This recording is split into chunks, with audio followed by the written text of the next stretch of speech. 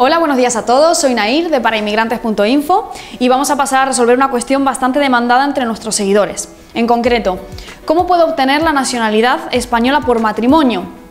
Para evitar cualquier tipo de dudas o confusiones vamos a pasar a explicar un poquito este procedimiento. Más que nada la confusión surge en base a que muchísimos ordenamientos jurídicos, muchos estados contemplan en su propia normativa la posibilidad, digamos, una forma de adquirir la nacionalidad a través del matrimonio con cualquiera de sus ciudadanos, cualquiera de sus nacionales. Es como un procedimiento específico de adquisición de nacionalidad.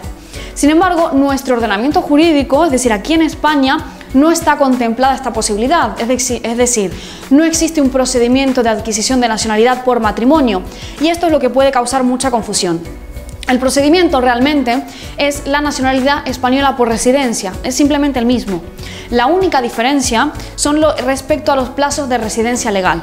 Es decir, como ya sabemos, el plazo general es de 10 años de residencia legal en España, lo que nos permitiría posteriormente solicitar nuestra nacionalidad española, obviamente siempre que acreditemos el cumplimiento del resto de los requisitos.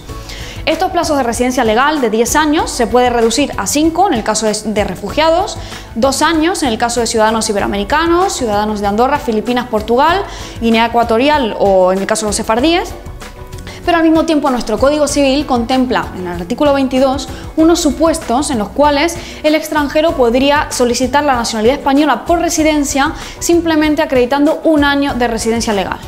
Y uno de estos supuestos es el, estar, el llevar casado al menos, el llevar al menos un año de matrimonio con un ciudadano español. Es decir, el procedimiento es exactamente el mismo, tarda el mismo tiempo.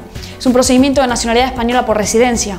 La única diferencia es que si llevásemos un año de matrimonio con español, en vez de aplicarse el plazo de residencia legal que se nos aplicaría en base a nuestra propia nacionalidad de origen, se nos vería reducido el plazo a un año. Pongamos un ejemplo un ciudadano de Marruecos que se casa con un español. A un ciudadano marroquí, por regla general, se le, eh, se le exigen 10 años de residencia legal en España.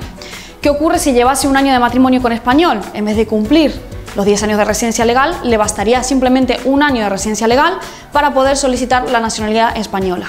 Pero repito, no existe un procedimiento de adquisición de la nacionalidad española por matrimonio, sino que es exactamente el mismo, simplemente con la reducción del plazo.